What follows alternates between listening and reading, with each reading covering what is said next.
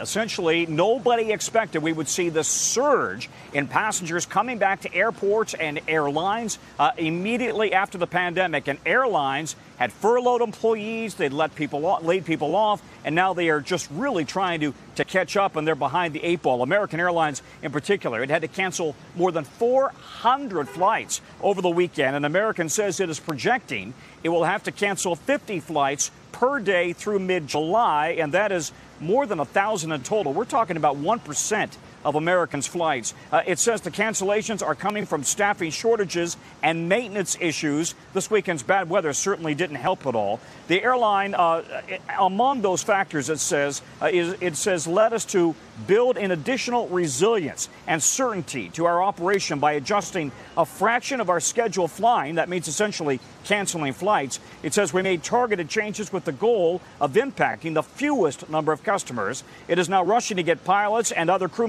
members furloughed during the pandemic back on staff and getting them ready to fly as fast as possible. But the bottom line here is that this is likely to continue, at least for the foreseeable few weeks, in the height of the summer travel season. Savannah? Yeah, we're talking about continued cancellations through mid July, according to American Airlines. Is this just an American Airlines problem, or are other airlines uh, potentially facing these same issues?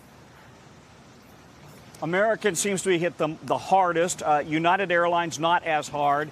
The bottom line is if you have booked a flight this summer, there is a chance that you may get rebooked. They may put you on an earlier flight, a later flight. They may put you through a different hub when you're flying. Uh, they say they're going to do everything they can to cancel the fewest number of flights altogether. If your flight is completely canceled, you'll get a full refund.